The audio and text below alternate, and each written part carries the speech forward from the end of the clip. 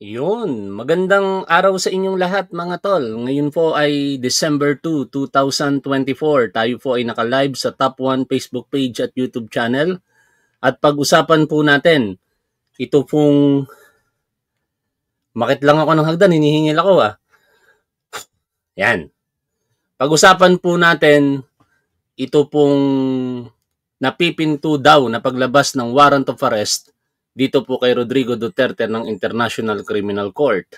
Kasi alam niyo mga tol, nung nakaraang Quadcom hearing, ito pong si Rodrigo Duterte, nung ito po ay dumalo sa sa 11th Quadcom hearing, ito pong si Rodrigo Duterte ay naghamon. Hinamon niya po ang ICC na imbestigahan siya kinabukasan na mismo. At uh, hindi daw po siya natatakot a bit sa ICC. Kaya naman kaugnay po niyan, ang naging balita po kagabi mula po dito sa iba't ibang mainstream media, partikular sa GMA News, ay uh, naglunsad po ng website ito pong ICC at nananawagan po sa sino mang meron pong personal na alam o impormasyon sa nangyaring extrajudicial killings sa panahon po ng Duterte administration. Yung website po na yan ay kanilang uh, gagamitin para po i-encourage ito pong mga nakakaalam, mga kapwa natin Pilipino, para kahit paano siguro magamit po nila ito sa isang full-blown trial. Pakinggan po natin ang balita mula po sa GMA News. Yung Pangulong Rodrigo Duterte inilabas ng International Criminal Okay, ulitin natin. Nagbukas sa website ng International Criminal Court para sa mga nais tumestigo sa investigasyon kaugnay sa war on drugs ng Duterte administration. Nakatutok si Jonathan Andal. I'm asking the ICC to hurry up, start the investigation tomorrow. The ICC does not scare me a bit. Dalaw- Tanungin ko kayo mga tol. Naniniwala ba kayo na si Rodrigo Duterte ay talagang hindi natatakot sa ICC? O ito ay bahagi lamang ng kanyang bunganga na nagtatapang-tapangan sa harapan ng publiko? Kasi sinasabi po nitong si Antonio Trillanes, hindi po talaga matapang itong si Rodrigo Duterte. Duwag po ito. Mahilig lang daw po itong mangbulas. Mahilig lang po itong mamblap. Kaya marahil yung sinasabi niya rito, kung ang pagbabasihan po natin, yung appreciation ni Antonio Trillanes, eh hindi matapang. Kayo, sa tingin ninyo, tunay ba ang sinasabi nitong si Rodrigo Duterte na hindi siya natatakot sa ICC? Malalaman natin yan kapag ka meron na po siyang warrant of arrest na ayon po dito sa balita, ang paniniwala ng mga tumutulong sa ICC, partikular ito pong si Attorney Conti, ngayong buwan po ng Disyembre, lalabas ang warrant of arrest mula po sa ICC. Kaso lang, matagal na po natin itong eh, na papakinggan eh. Last year pa po natin naririnig ito kina Antonio Trillanes. Naririnig po natin, even narinig din po natin sa dating Associate Justice na si Antonio Carpio. Sabi niya by September lalabas. Si Antonio Trillanes last December 2023 at 2023 tama. Tapos first quarter, naging second quarter hanggang sa wala na. Tapos ngayon, meron na namang December na lalabas ang warrant of arrest. Kaya magantay na lamang po tayo kung talagang may lalabas bang warrant of arrest. Pero what is certain now, malaya na pong nakakakilos ang ICC sa ating bansa. Hindi na po iyan uh, pakikialaman pa ng ating uh, Department of Justice in particular. Tuloy po natin ang pakikinig dito. Dalawang linggo matapos ang hamon na yan ni dating Pangulong Rodrigo Duterte, inilabas ng International Criminal Court o ICC ang panawagan para sa mga saksi para ito sa investigasyon nila sa aligasyon ng mga krimen laban sa sangkataw. Basahin nga natin ano. Basahin nga natin yung nakalagay dito. Panawagan ng ICC para sa mga saksi. Iniimbestigahan ng tanggapan ng taga-usig ng pandaigdigang hukumang pangkrimen ang mga alegasyon ng krimen laban sa sangkatauhan, kabilang ang pagpatay, torture, at karahasang sexual na isinagawa bilang bahagi ng tinatawag na kampanyang gera laban sa droga sa pagitan ng Hunyo 2016 at Marso 2019. Nananawagan kami sa mga direktang saksi sa mga pangyayaring ito, kabilang ang mga miyembro ng PNP at iba pang mga alagad ng batas na sangkot sa mga pangyayaring ito na lumapit at makipag-ugnayan sa amin. O kung nais ninyong gawin ito, mangyaring bisitahin, hindi ko na po mabasa, pero pakinggan po natin ang balita. Investigasyon nila sa aligasyon ng mga krimen. Puntahan nga natin mismo yung International Police ICC website. Ano? Baka na baka nandun naman nakapost yan. No? Tingnan natin. Okay. Pero sa dinami-dami dito, parang ang hirap hanapin, ano? ICC.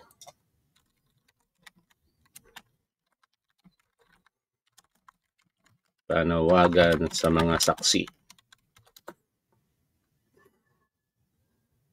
Ah, wala tayong makita. Hindi ko makita yung mismong post sa website nila. Anyway, tuloy po natin ito laban sa sangkatauhan, kabilang ang anilay pagpatay, torture at karahasang sexual sa gyera kontra droga ng Administrasyon Duterte. Umaapila ang ICC na lumutang ang mga direktang saksi, kabilang ang mga miyembro ng PNP at iba pang alagad ng batas na may nalalaman o kinalaman sa mga nangyari.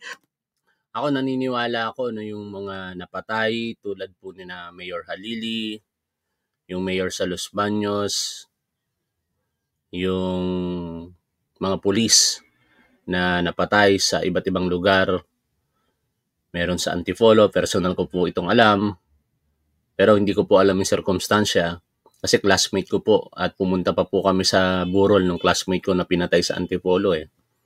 Tapos, yung pinatay din na classmate ko sa Tanawan, Batangas, pinatay na classmate ko sa Manila, police dist- uh, sa Manila City, tapos meron akong pinatay na schoolmate sa Rodriguez Rizal. Napakarami kung iisa-isahin ko mga tol, hindi ko na lamang matandaan. Pero malakas ang paniniwala ko na yung mga pagpatay na yon may kaugnayan sa war on drugs ni Rodrigo Duterte. Kaya sana yung mga nakakaalam sa sirkumstansya sa mga pagpatay na yon, pagkakataon nyo na po ito na linisin ang inyong konsensya at uh, humarap sa hukuman sa ICC at kung lehitim naman yung inyong impormasyon, sinasabi naman po dito sa balita na maaari kayong mapagkalooban ng protection. No? Naku, nandito na yung magbabasura. Kaya ayoko masyadong maaga mag-live. Either aabutin ako o ayun nga, aabutin tayo ng ingay. Sana hindi maingay sa inyo mamaya, ano? Kung gustong tumestigo, bisitahin ang link na ito para maibahagi ng Hmm. confidential ang inyong paunang Tingnan niya impormasyon. link. Tingnan niya natin yung link mga tol. Tingnan natin yung link. HTTPS. Yan. Okay. Saan ba yun? Slash slash appeals ICC CPI int. Yan. Oh, ito. Share natin ito sa ating public. Ito po yung link. Oh. Ibaba ko po ah. Bisitahin daw po. ICC Witness Appeal. Which language do you prefer to use? Aling wika ang mas gusto nyong gamitin? Filipino. I'm not a robot. Iniimbestigahan ng ICC ang mga alegasyon ng mga krimen laban sa sangkatauhan, kabilang ang pagpatay, torture at karahasang sexual na nangyari sa Pilipinas sa pagitan ng Nobyembre 2011 at Marso 2019. Suruin, susuriin namin ang impormasyon ang impormasyon inyong ibabahagi at kukontakin namin kayo. Kung mayroon po kaming mga tanong, susuriin namin ang bawat sagot. Ngunit hindi kami makakatugon sa lahat. Ano't anuman, maraming salamat sa inyong pagsagot. Sang-ayon po ba kayo? Oo. Tingnan natin. Ano ang inyong telephone number? Ano ang inyong email address? Kayo ba ay alinman sa mga sumusunod? Pumili lang ng isang sagot. Tingnan natin yung mga pagpipilian. Number 1, kasalukuyan o dating opisyal o kawani ng PNP o PIDEA. Number 2, kasalukuyan o dating opisyal sa o kawani ng NBI. Number 3, kasalukuyan o dating opisyal ng barangay, lungsod o bayan. Number 4, kasalukuyan o dating opisyal ng pamahalaan, mambabatas o kasapi ng hudikatura. Number 5, biktima o saksi sa isang krimen na may kaugnayan sa gyera laban sa droga sa pagitan ng November 2011 hanggang March 2019. Number 6, iba pa. O, ito po yung official website, ano? Kaya sa mga meron pong nalalaman, o sabihin na natin, yung mga kamag-anakan po, na hanggang ngayon nananatili pong naghahanap ng hustisya. Puntahan nyo na po ang website na ito at uh, garantisado naman ang inyo pong privacy. Hindi po yan malalaman ng kung sino-sino lamang. Ang makakaalam lamang dyan, syempre, mga authorized mula po sa ICC ng impormasyon. Sabi ng abogado ng mga biktima ng umano'y EJK o extrajudicial killings ng Duterte administration. Palagay ko dito, naghahanap din sila ng dagdag na impormasyon na magkoconnect kay Duterte dun sa patayan. I would say that the ICC is now preparing for trial not just an investigation. Pero ligtas naman kaya ang pagkakakilanlan ng sino mang lulutang na saksi sa ICC? Meron silang ganong proseso na kung ang information mo ay material, mabigat at kailangan-kailangan para sa sa trial, eh aalokin ka ng witness protection. Maasa rin sila na ngayong Disyembre may lalabas ng warrant of arrest laban kay dating Pangulong Duterte. Ito, malaking katanungan. Lalabas kaya talaga? Kasi katulad ng sinabi natin kanina, makailang beses na po nating nadinig.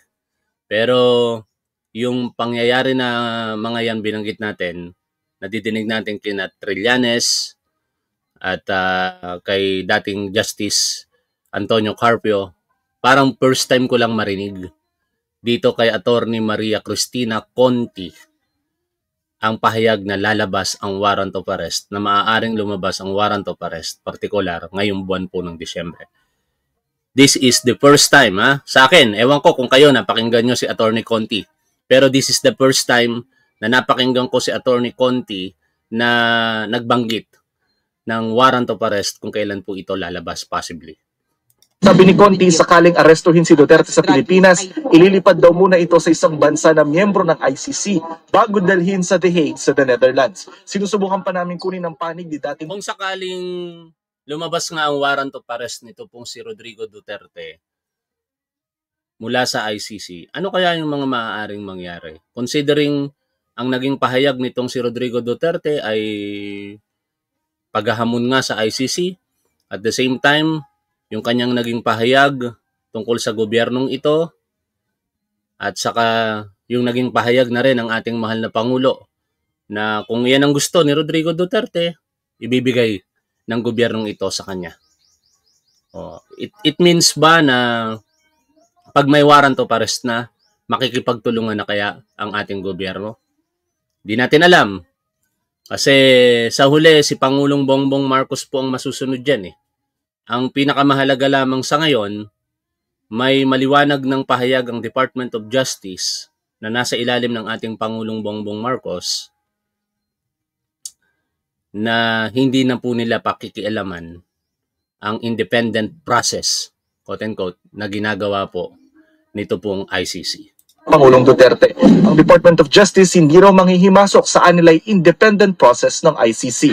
Para sa GMA Integrated News, Jonathan Andal nakatutok, 24 oras. Hindi manghihimasok sa independent process na ginagawa ng ICC. Parang ang nangyari na dyan, pumasok na kayo rito. Gawin nyo nang mag-imbestiga.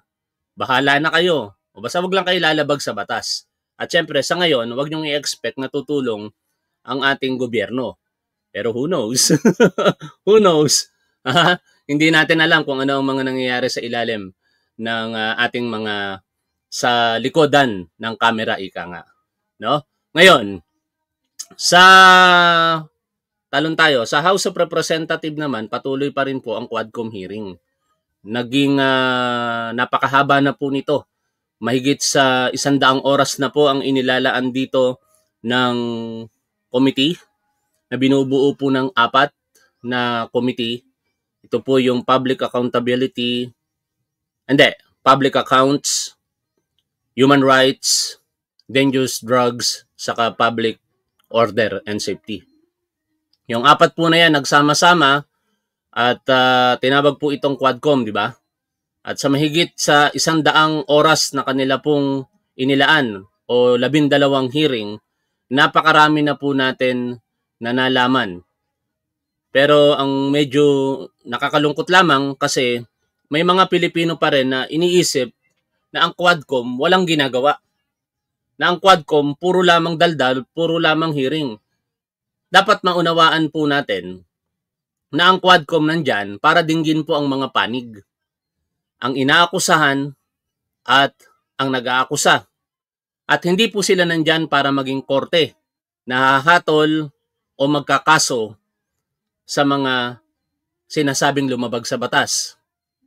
Sabi nga ni Congressman Ace Barber sa interview sa kanya dito, nitong si Malu Mangahas, eh, quote and quote, ang Quadcom ay parang court of public opinion, which is true.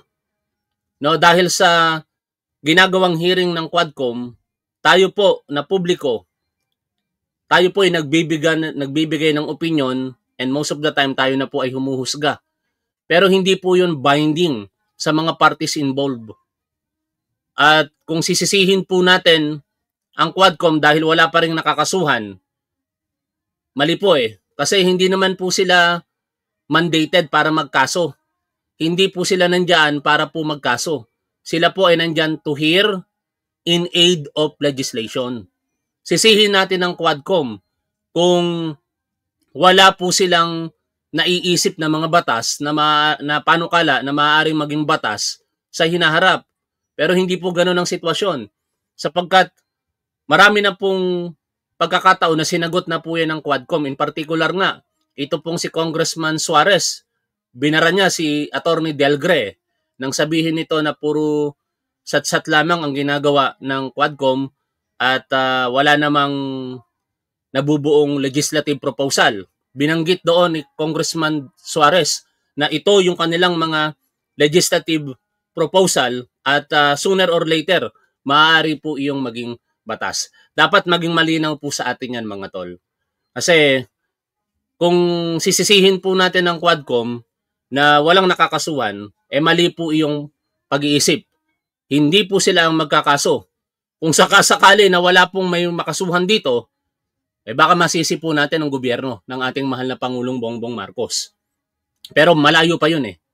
Kasi ginagather pa nga ang mga ebidensya at ayon naman ang gobyernong ito sa aking paniniwala, natutulad lamang sa ginawa po ng mga Duterte na basta na lamang makapagkaso na kahit mahina, banat na.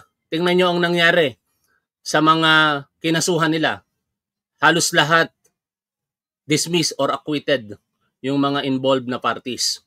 Tatlo, sa kaso na partikular na binabanggit po natin ay yung kinaharap na kaso nito pong si Leila de Lima. Yung binuhay nilang kaso kay Antonio Trillanes.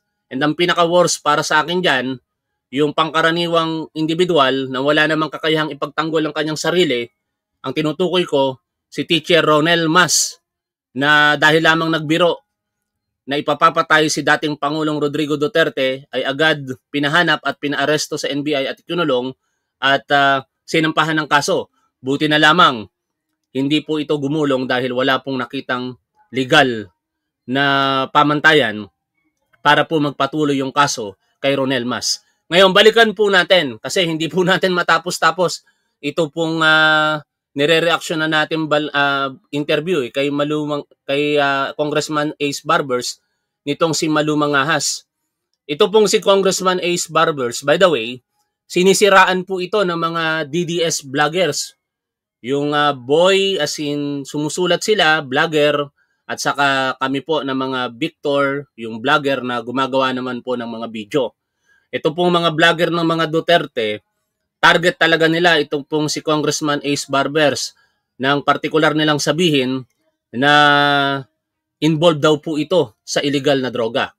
Sinasagway po nila yung uh, sitwasyon o dinadivert po nila yung sitwasyon mula po doon sa tunay na issue. Ang tunay na issue ay ang mga di umano'y irregularidad, krimen na nangyari sa pamumuno ng kanilang sinusuportahan na si Rodrigo Duterte at bagkos na yan ay i-address nila, ang gagawin nila, lilinlangin po nila ang publiko at sisiraan po nila ito pong si Congressman Ace Barbers at iba pang mga miyembro ng Quadcom. Kaya nga po kahapon, tinalakay na po natin ito sa ating live streaming pero ipapaalala ko lamang pong muli sa inyo, ito pong si Congressman Ace Barbers at ang uh, Quadcom ay nag-file na po ng complaint sa National Bureau of Investigation.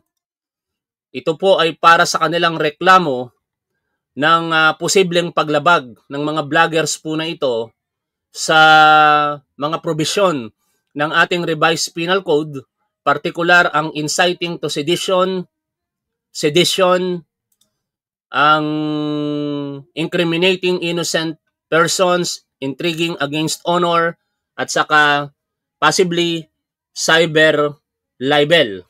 Lahat po ito syempre ay in relation to doon po sa Section 6 ng Cybercrime Prevention Act of 2012. Ang essence lang naman kasi kung bakit nire-relate sa Cybercrime Prevention Act ay para mas maging mataas po ang kaparusahan ng mga sinasabing lumabag sa batas na mga DDS vloggers na ito. Panoorin po natin muli ang interview, pagpapatuloy ng interview ni, Mang- ni Malu Mangahas dito po kay Congressman Ace Barbers. At shout out po sa inyong lahat. Maraming maraming salamat po. Sa preparasyon namin, we have always been consistent since day one, Malu, no?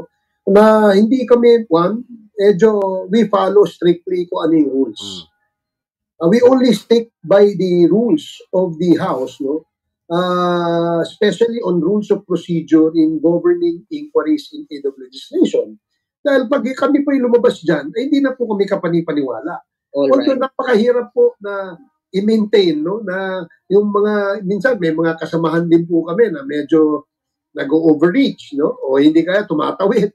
Ah. May ganun din naman kami mga resource persons. Kaya napakahirap po Magiging dalawa kaming tanga ngayon. Papatulan ko kasi yung isang tanga na nanonood. Itong si Dan Gyul.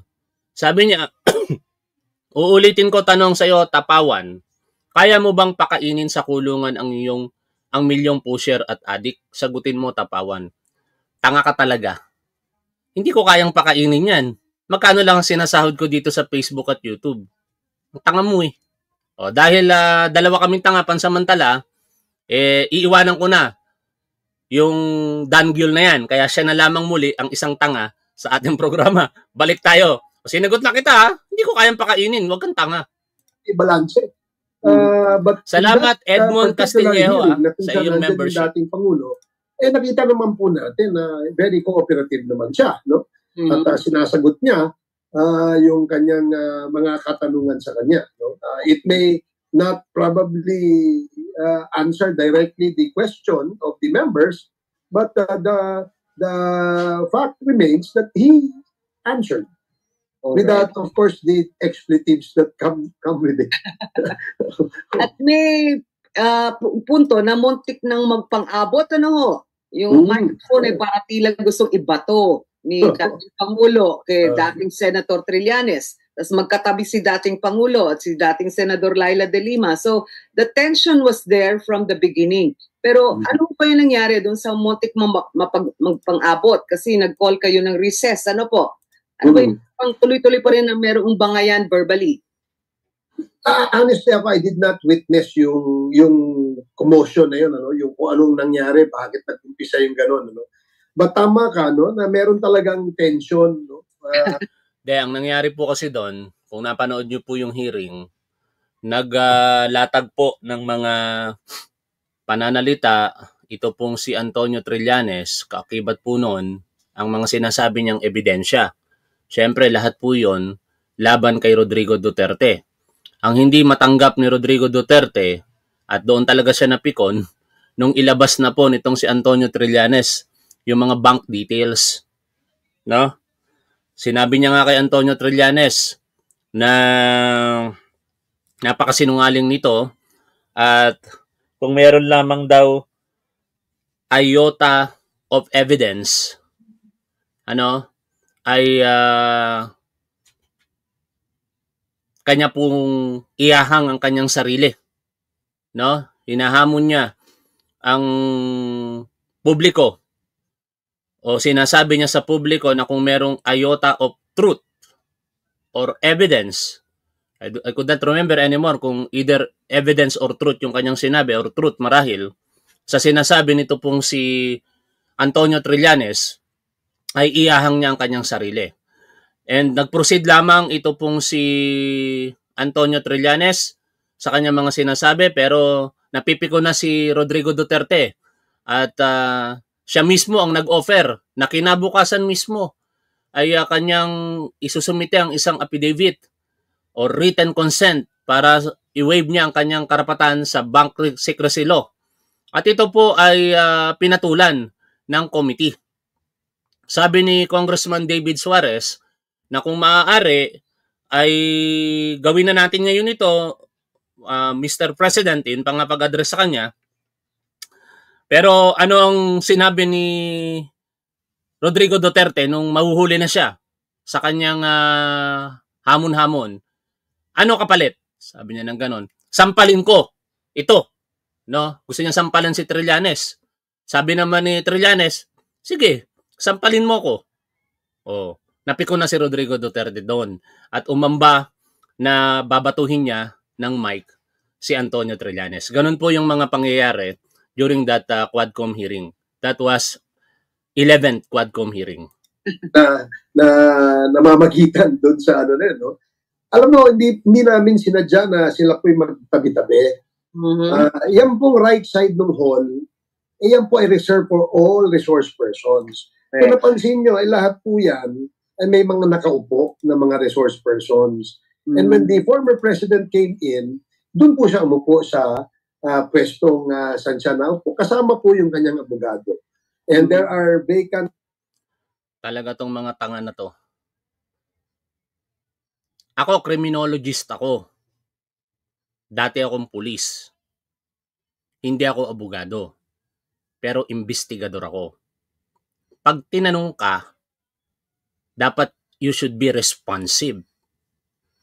Ang question ng tanga, kung kaya ko bang bayaran ang milyong mga adik at pusher kapag ka ito ay pinarehab, sinagot ko. Hindi ko kaya. Tanga ka talaga. Ano pa gusto mong maging sagot ko?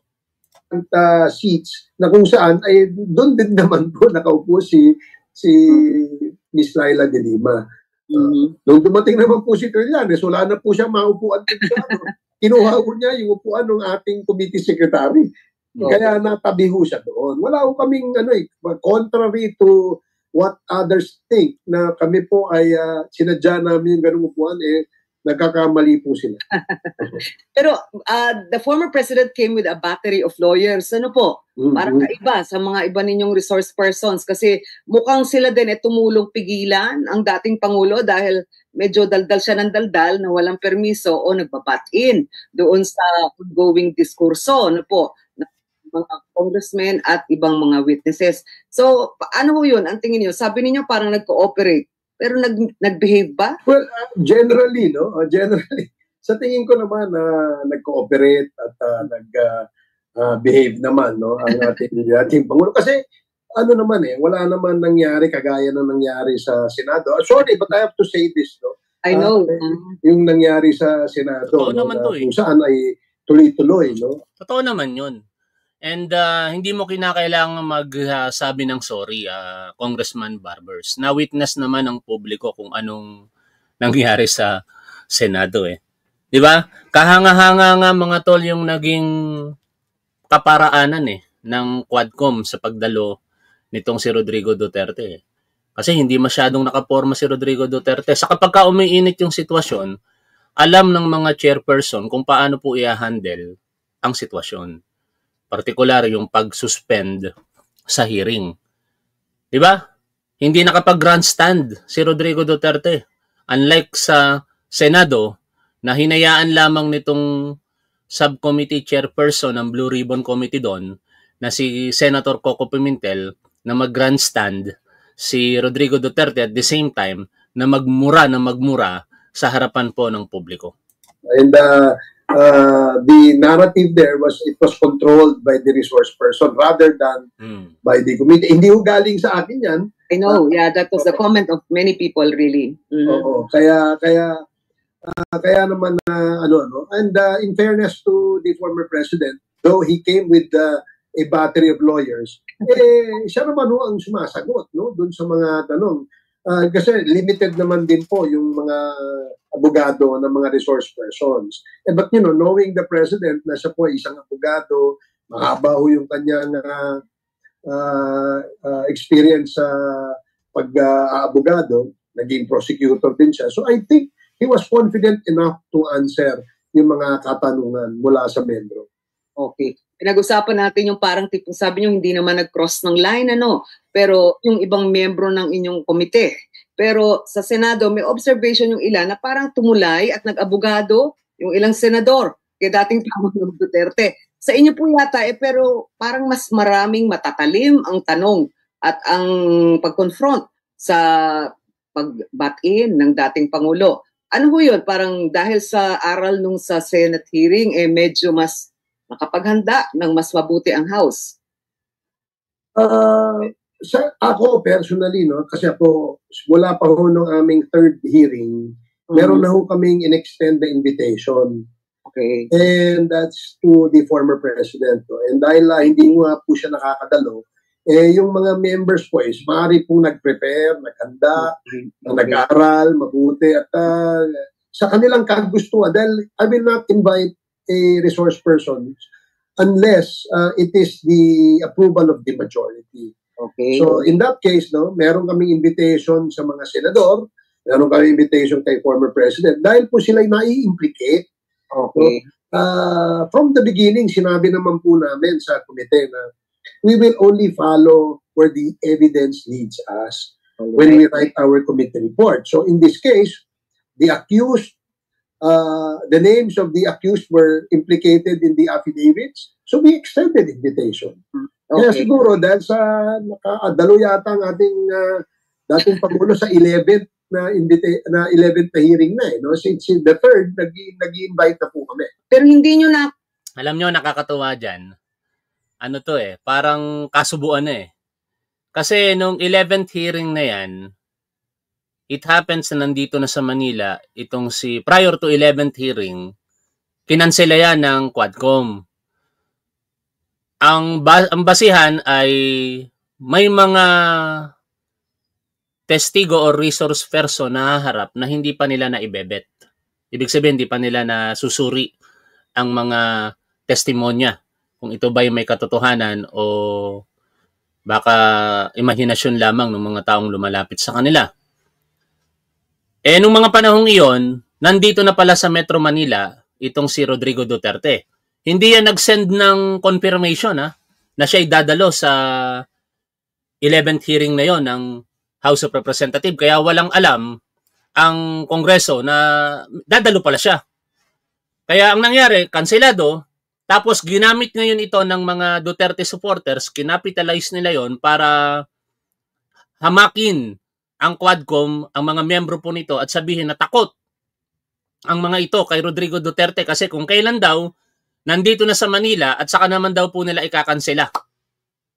Pero ang nangyari, bago matapos po ang araw, nag-announce ang Quadcom na tuloy ang hearing kinabukasan. O, kaya wala nang magawa. Ano naman ang naging naratibo ng mga Duterte supporters? Eh, ang sabi naman nila, pabigla-bigla daw sa pagdidesisyon na parang hindi man lang pinapaghanda ang dating Pangulong Rodrigo Duterte. Walang kalagyan ng Quadcom, di ba? Pero natuloy pa rin.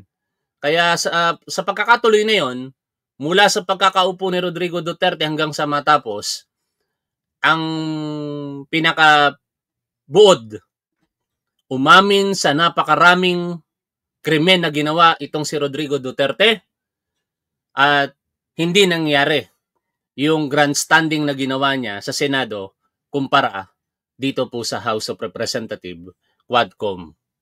nakuha si Senator Bato de la Rosa at si Senator Bongo na gusto nyo rin ho sanang humarap, ano? Dahil implicated. or associated with some of the findings ng komite. Th- That's correct. No? Un- Until now, no? Kasi open-ended yung aming invitation eh. Habang pinag-uusapan yung aming ah, ah, topic tungkol sa extrajudicial killings, war on drugs, eh, nandoon po ang aming invitation sa kanila. And ah, because of the so-called parliamentary courtesy, eh, we respect kung ano man ho yung kanila magiging desisyon. Ah, Alright. kung sila ba'y dadalo o hindi dadalo. Okay. Ngayon, naobserbahan ng mga tao na parang tila merong mga rising stars. Ano po? Yung talagang handang-handa, magaling, mahusay ang pag, ah, pag-prepare o dun sa mga committee hearings. May ilan po, ano, na pangalan na parang biglang naging makunyagi sa mga social media network. Sino-sino po yon at parang ano yung kaibahan? Bakit some of the members of the four committees are standing out even better than the rest? Well, you know, uh, I'm also surprised, Malu, no? Kasi nung nagkaroon nga ng ganitong uh, committee hearing, no? eh, first, uh, ito po yung idea ni, dati, ni Speaker uh, Romualdez, no? na uh, in order to save government time and resources of government employees, isahin na lang natin, number one. Number two, pare-parehas kayo ng topic, yung resource person nyo ay iisa, so isang upuan na lang. Yun ang, uh, yun ang logic. No? And third, syempre, para Mga kadahilanan kung bakit nabuo ang Quadcom. Kasi nagkakaugnay-ugnay talaga mga tol eh, yung issue. Ang mga pinag-uusapang issue ay tumuturo sa magkakahalintulad o magkaka parehas na mga individual. For example, sina Michael Yang, sina Rodrigo Duterte, at mga underlings nito sa panahon ng panunungkulan ng kanyang gobyerno. the the the famous adage ika nga na two heads are better than one. Correct. sa kaya po nagsama-sama ito. Nakita namin no na may mga kasamahan sa kongreso na itong batch ng mga congressmen ngayon magagaling po. Sila po karamihan sa kanila mga bata no? Uh, and uh, they they stood out no? In uh, in the performance of uh, their lifetime in their political careers ika nga. Kasi is- isa naman sa sa trabaho ng kongresista ay yung uh, sumali dito sa mga investigation or inquiries in aid of legislation. Kahanga-hanga itong mga young guns eh. Di ba? Mga bata pa talaga ang mga ito pero matatapang. Saka dito lamang po sa Congress na ito nakita natin na naninindigan ang mga kongresista. Ito pong 19 Congress, nanindigan talaga sila, partikular sa mga Duterte, lalong-lalo na dito kay Pusit. Kanina, napahapyawan kong panoorin yung ah, vlog ni Attorney Clear eh. At uh, isa po sa mga pahayag ng isang matapang na kongresista ay may katotohanan naman. Ito pong si Congressman Kong Hun. Siya po ay ah, talagang, ah, ah, is it Kong Hun? June 20, Punta, balikan po natin yung pahayag dito. Dali, ah, ito, ito. Ito, ito. Yan. Lang naman lahat ng kaguluhan na ito Tama. noong mangarap ang ating vice presidente na maging presidente ng maaga. Nung mangarap ang former president na paupuin yung kanyang anak, anak na maging presidente kaagad. Kung wala lang sanang maagang nangarap, wala lang sanang maagang nag-ambisyon na maging presidente, tahimik naman ang lahat. No? So, yung mga nangyayaring ah, usapin na ito ngayon, alam naman natin pare-parehas kung ano yung pinagmulan. No? okay, so dyan na, dyan ang, so ngayon, Diba? Yun naman ay may katotohanan. At ah, kung susuriin po natin ang nakalipas na mga panahon, hindi naman maikakaila na sa mismong isang vlogger nitong mga Duterte na isang abogada, ang papangalanan po natin ay si Attorney Trixie Cruz Angeles. Nagmula ang mga katagang sa tamang panahon, magkakaroon sila ng Gloria 2.0. Bakit Gloria 2.0? Ang Gloria formula kasi na yan ay nangyari noong 2001 nang si Gloria Macapagal Arroyo ang pumalit bilang Pangulo ng Pilipinas ng patalsikin ito pong si dating Pangulong Joseph Ejercito Estrada. At na-witness po natin yan sa series of events. Nakuha bigla ng oposisyon that time ang kamera at inimpeach ito pong si Ercito Estrada. And during that time, malakas si, si Estrada sa Senado kaya nababasa. Alam naman nila yon na hindi mauuwi sa conviction Estrada yung impeachment trial. Kaya kumuha lamang sila ng mga eksena hanggang sa dumating yung punto para ma, ma, ma-compromise yung yung hearing at kunin ang suporta ng maraming sektor sa ating publiko. Yun yung punto na hindi na po nabuksan yung envelope na sinasabi nilang malaking ebidensya daw po laban kay Estrada. Kaya dinala nila sa kalye at nag-people power sila. Nagtagumpay sapagkat napilitang bumaba sa pwesto ito pong si Joseph Estrada. At ganun yung nakikita natin ngayon sa mga Duterte supporters na kahit hindi aminin nito pong si Sara Duterte, nakikita naman natin sa kanilang mga gawa. Nung nagkaroon ng banta sa liderato ng House of Representative noong 2023, umugong ang pangalang muli na Gloria Macapagal Arroyo na maaaring nasa likod ng isang kudita. Diyan po sa House of Representative. Agad po itong inaksyonan ng pamunuan ng House at dinemote from Senior Deputy Speaker to Deputy Speaker itong si Gloria Macapagal Arroyo. At kung walang ganong balak itong mga Duterte at mga supporter nito, bakit gano'n na lamang ang naging reaksyon ni Sara Duterte ora mismo? Siya ay nagbitiw bilang chairperson ng Lakas CMD at hindi lang doon natapos yon. Kinabukasan, pinasikat niya ang infamous word na tambaluslos na alam naman natin na ang tinutukoy niya doon kahit hindi niya pinapangalanan, walang iba kung hindi si Speaker Martin Romualdez. And sa isang talumpati ng ating mahal na Pangulong Bongbong Marcos kung saan magkasama sila at itong si Sara Duterte na noon ay kalihim pa ng Department of Education, pinakilala niya ang ating Pangulo sa mga katagang Apo, Bongbong, mahal kita, pero hindi ko po mababanggit ang iyong pangalan. Kaya ipinakilala niya lamang si Pangulong Bongbong Marcos bilang Ferdinand Marcos Jr. Hindi niya po binanggit ang pangalang Romualdez na nagpapakita lamang kung gaano nakagalit itong si Sara kay Speaker Martin Romualdez.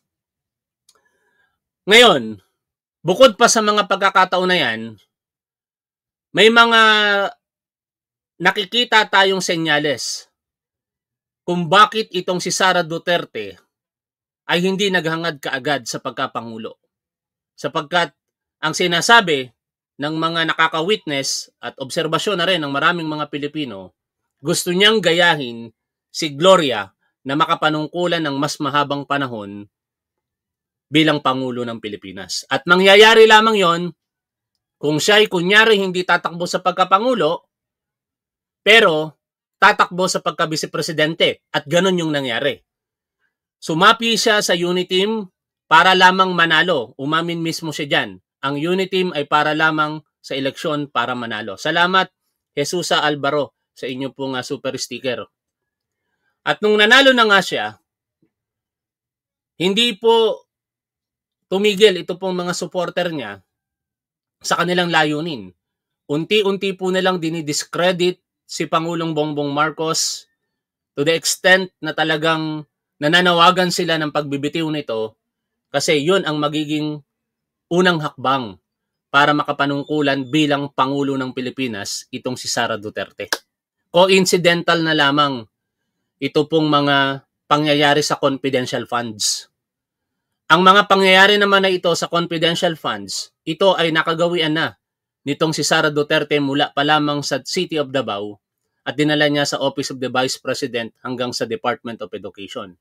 Pero coincidence na lang yan sa grand plan na talagang agawin nila ang panunungkulan sa ating Pangulo para makapanungkulan ng kulang-kulang sampung taon bilang Pangulo ng Pilipinas itong si Sara. Dahil kapag ka naging Pangulo kasi siya, syempre, eligible pa rin siya for election sa 2028. Yan po yung mga hindi maikakaila nitong mga Duterte supporter na talagang nakakabwisit kung ating pong binabalikan dahil ang mga ganyang pananaw ay hindi po pagmamahal sa bansa. Yan po ay hindi pagmamahal sa ating mga kababayang Pilipino, kung hindi pagiging makasarili ng mga supporter na ito na maaaring nagkakaroon ng kapakinabangan sa pamamahala ng mga Duterte, higit sa lahat, sineserve lamang ng interest na yan yung mga layunin na makasarili ng mga Duterte. Tuloy po natin ang pakikinig dito po kay Congressman Ace Barbers. their opinion. Itong sinishare nilang opinion, national issues eh. So kapag ka na-consider yung kanilang national issues, eh, ibang ibang level na po ang ah, ika nga ang achievement ng mga yan no pagdating sa kanilang political ah, ah, credentials. Pero kitang-kita na some are more prepared, better prepared than others. Ano po? Ang kaibahan din po niyan is parang tipo ngayon inihahambing ng mga tao sa pagitan ng dalawang chambers. It used to be that the Senate was the August Hall. Di ba po? Na parang tipong lahat ng mga ah, pantas natin sa Now, legislation. before I o sa forget, before I forget, in response nga pala doon kay Congressman Kong Hun, sumabilita, sumalita itong si Sara Duterte na panalo na daw siya sa survey at solid na daw po ang suporta ng tao sa kanya. May katotohanan pa yun? Ba yun? O, gamitin natin ngayon yung isang pahayag naman itong si Richard Solomon. Ah, and I agree with this statement. Though, hindi lang naman mga loyalista ang sumusuporta kay Pangulong Bongbong Marcos. Kasi sa totoo lang, maraming mga PBBM supporter na hindi loyalista. Isa po ako doon. Okay? Sabi dito nitong si Richard Luceniada Solomon, just political tidbits and insights. Really, Sarah? You already won the presidency last 2022 election supposedly. I beg to disagree with BP Sara saying the presidency of 2022 was mine already. Parang live selling lang, mine. Mag live selling kaya ako, bibili kayo, magmamine ba kayo? magmamine ba kayo pag nag live selling ako? Ha? I was ahead in all the surveys because if she ran against BBM that time, the dynamics of the election then would change and BBM will surely win by landslide because the loyalistas will of course not support Sara but BBM. I-attach natin yung PBBM supporter. Ano kasi marami pong mga bumoto kay Pangulong Bongbong Marcos na hindi naman po loyalista. Definitely, she will not get 32 million votes. I've made my own computation and projection per province of the whole country five months prior to the May 2022 election. And in my computation, BBM clearly won by a difference of 30 million out of 67 million registered voters and only 9.3 million will go to Sara. Had it been they went up against each other. And if you compute Lenny Robredo's numbers, that would just be 13 million, which is which is just right or almost equal to the numbers that she had during the presidential election. That is the hidden truth of things. There is no way the DDS will outnumber the loyalistas at any given time. Ano? Kaya mga tol, kung talagang marami itong mga Duterte supporter na pilit nilang pinalalabas sa kasalukuyan, isa nga lang ang tanong natin eh. Bakit hindi man lamang kayo umabot ng 1,000 dyan po sa EDSA? Ito. Kung talagang marami ang Duterte supporters, bakit hindi man lang umabot ng 1,000 na punta sa EDSA? Common sense. Kung talagang marami kayo, pinagmamalaki nyo yung online viewers. Huwag na tayong maglokohan dito, mga kapwa ko vloggers. Ang ang online natin, itong mga ginagawa natin, nakabase ito sa algorithm. Nga? Kung talagang marami kayo, I challenge lahat ng mga vloggers na ito. Mag-live kayo sa Facebook. kung may manonood sa inyo. Yung nasa Facebook, mag-live kayo sa YouTube kung may manonood sa inyo. Vice versa. Mag-live kayo sa Twitter kung may manonood sa inyo. Mag-live kayo sa TikTok kung may manonood sa inyo. Nakabase sa algorithm. Pero kung hindi nakabase sa algorithm ito, kahit saan tayo mag-live, susundan tayo ng tao dahil marami tayo. Ganon kasimple yon. Ha? Ngayon, huwag niyong intayin na ang mga PBBM supporter at loyalista magsama-sama at ipakita ang puwersa sa kalsada. Baka doon kayo malula sa sobrang dami namin. Pero hanggat maaari, ayokong dumating sa punto na yon. Kasi perwisyo ang rally sa kalsada. Nakukuha niyo yung point ko doon? Kaya nga ako, ayoko magsasali sa mga rally-rally. Napeperwisyuhan ako. Naaabala yung mga commuters po natin. Kawawa naman sila, lalong-lalo na yung mga naghahanap buhay na ang tanging pahinga lamang ay matulog. Gigising sa umaga, magpe-prepara para sa kanilang trabaho, babiyahe pagdating sa trabaho, buong araw magtatrabaho, uuwi, babiyahe, kakain, kasama ng kaunting panahon sa pamilya, matutulog, and the cycle uulit ng uulit ng uulit. Tapos aabalahin pa natin sa pagrarally natin sa kalsada. Perwisyo. Kaya wag po tayong mag-tolerate ng mga ganyan. Pero, kapag ka dumating ang punto na talagang kailangan-kailangan, ako, hindi ako magdadalawang salita na sumama sa mga ganong pagkakataon. Pero yung ngayon, hindi naman natin kailangan. Wag natin, wag natin patulan yung mga reliyista na yan sa kalsada. Magsushow force din tayo para lamang ipakita sa kanila na mas marami tayo. Hindi. Lalabas tayo sa kalsada kapag uh, ginawa nila ang hindi maganda kay Pangulong Bongbong Marcos. Para sa akin pong pananaw yan. Tuloy po tayo sa pakikinig dito. Politika eh sa Senado na pupunta. Pero comparatively, parang mas malaman at mas matalim yung investigasyon ng House ngayon. Uh, do you want to comment on that? Na parang tipong mas marami kayong na na reveal, na bulatla kaysa doon sa Senado. Doon sa war on drugs, ano, yun lang, yung hearing na yun. Well, in fairness naman sa mga kaibigan natin sa Senado, and uh, some of them were also my colleagues when I when when I started in the 1990s. No? And uh, uh, magagaling din naman po yan sila. Eh. At uh, in fact, uh, karamihan naman ng mga batas na ipinapasa ng uh, Kongreso ay talagang madiin na tinatalakay ng bawat chamber. No? And some uh, laws that were passed are actually sponsored or or initiated by the lower house and counterpart lang yung sa Senate. Ganun din naman, no? Kumbaga equal ito mga ito. Maganda yung talakayan, maganda yung palitan ng uh, opinion at palitan ng kanilang mga haka-haka o puro-puro ika nga. All right. You're, you're being polite. Kasi sa Senado, dalawa ho yung komite, no? Isa yung nakatutok sa POGO at human trafficking, isa yung nakatutok dito sa war on drugs. Ano po? Paano ho magtatagpo yung findings ng dalawang chamber? Ano ba yung mangyayari? Merong Quadcom report, meron ding report ang Senate kasi si hmm. Senator Risa Ontiveros ay naglabas na ano po nung findings niya. Sino yung mga hmm. tao sa likod ng POGO, human trafficking at, at war on drugs in a way. Uh, hmm. Paano magtatagpo? Have you been talking to each other?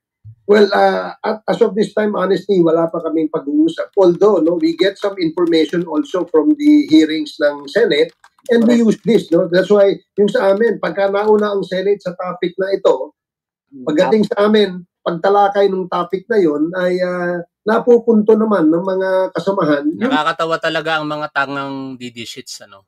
Ang tanga nyo talaga. Kanino kami maniniwala? Sa isang tao na ngayon ay Pangulo ng Pilipinas na nagpa-drug test na, na negatibo ang resulta, o sa isang dating Pangulo na nung panahon na siya ay Pangulo ng Pilipinas, umami na gumagamit ng ilegal na droga. President Rodrigo Duterte says he uses marijuana to stay awake for strenuous activities. Duterte is at the helm of the bloody crackdown on drugs, but admits to using marijuana an illegal substance in the Philippines. It's a killing uh, activity. And I think uh, the my age, ako hindi masyado.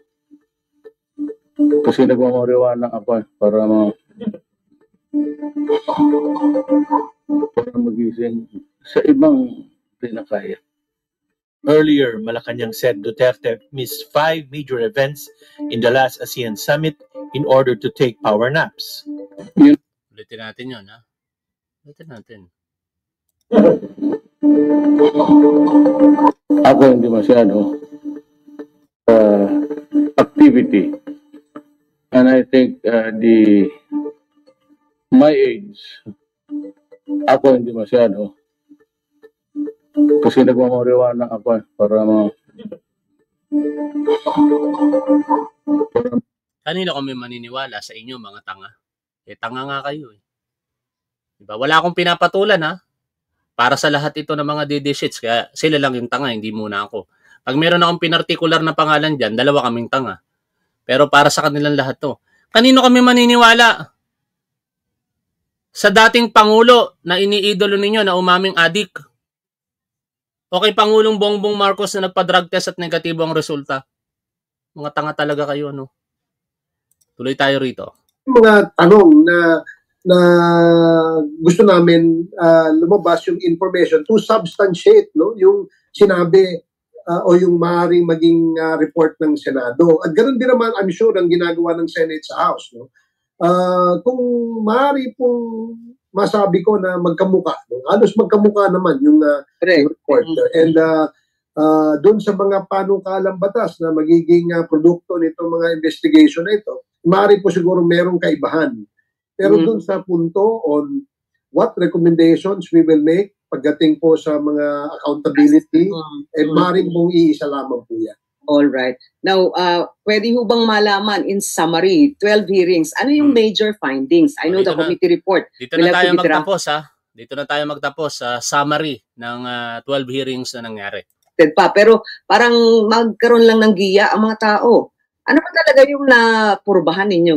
Ano yung medyo alanganin pa kayo at hindi nyo kayang sabihin with conclusive evidence, eh, ito ang tamang naganap? Well, uh, I will just uh, probably uh, say na so far, no, ang nakita namin talaga ay yung mayroon na kaming i-final na mga panukalang batas. Halimbawa po, ito pong uh, usapin tungkol sa pagbibili uh, ng mga Chinese nationals na mga lupain no sa atin kasi ito Mm. hindi biro ito no thousands of hectares ang involved dito Ah, kung ano man ang kanilang layunin kung ba't sila bumibili ng ganong kalalaking lupa hindi po natin alam that's why meron pong malaking question mark na maaaring ito ba'y gagawin nilang kampo? Kasi bakit ganito kalaki no? O ito ba'y gagawin nilang pogo hub again? No? Ah, isa yan no? Pangalawa, nakita natin no, na bakit, bakit pa nagkaroon ng pagdami ng influx of these Chinese nationals dito. Alam natin na ugat niyan ay yung Pogo. Nagsalita po ang ating dating Pangulo, nag-file din po kami ng batas to totally ban uh, and not allow all on all forms of online gambling. No? So isa ho yan. No? Pangatlo, yung um, uh, itong sa extrajudicial killings. No? Uh, although ito ay binabatikos, uh, ang sinasabi namin kasi uh, lahat po ng uh, pwedeng uh, uh, gawing uh, let's say uh, murder no uh, eh, pagka ito ay ang tao po ay namatay na hindi po pinayagan ng ating estado halimbawa wala naman po kasi tayong death penalty so any death that come that uh, happens is actually a murder Mm. no eh, which is already defined under the revised penal code In no? short, so ang in short, maamiendahan marahil ang Article 248 ng ating revised penal code, yung murder. Kasi ang daming mga qualifying circumstances doon that uh, a killing could be qualified as a murder. O, yan yung mga resulta ng Quadcom hearing. Now, kaya wag nating sabihin walang nangyayari pagsasayang lamang ng panahon ang ginagawa ng Quadcom. Napakarami pong nangyari, napakarami po nating nalaman, higit sa lahat, yung katotohanan lumabas at naniniwala ako in due time, ang katarungan maibibigay sa mga naapi. Maraming maraming salamat sa inyo mga tol. Hanggang dito na lamang. Shoutout po sa inyong lahat. Lagi po nating tandaan kung ano ang tama at dapat doon po tayo. Keep safe. See you always. Bye for now mga tol.